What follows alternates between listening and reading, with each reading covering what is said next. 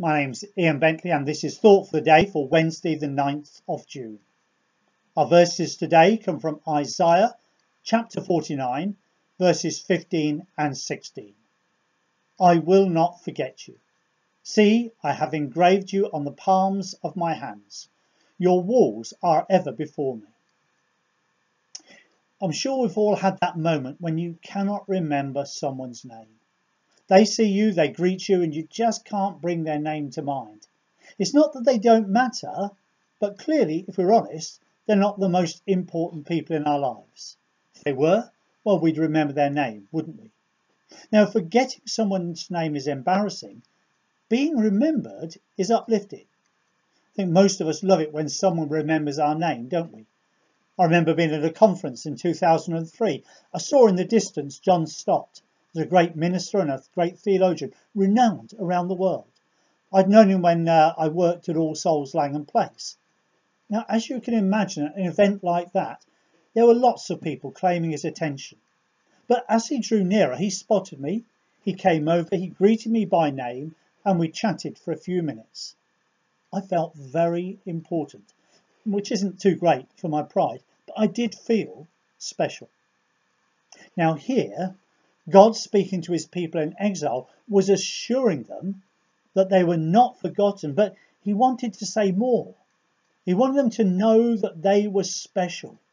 Not only had he remembered them, but I have you engraved on the palms of my hands. Now, I know a few people who've had the names of their children or their partners tattooed on their arms, not to remind them of their names, but to show how special they are. And here God says to his people, See, I have you engraved on the palms of my hands. It's as if he's holding out his palms to the people uh, to show them how special they were. Now we see that, don't we, literally with Jesus. Do you remember how Jesus appeared to Thomas, who had so many doubts? Uh, and Jesus showed Thomas his hands, the wounds of the nails in them. And that's the mark which shows not only that God has not forgotten a sinful people, but that those people are special to God.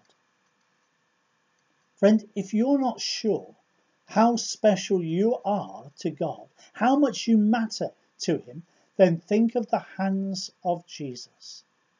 As the song puts it, my name is graven on his hands. My name is written on his heart. I know that while in heaven he stands, no tongue can bid me thence depart. You are not forgotten by God.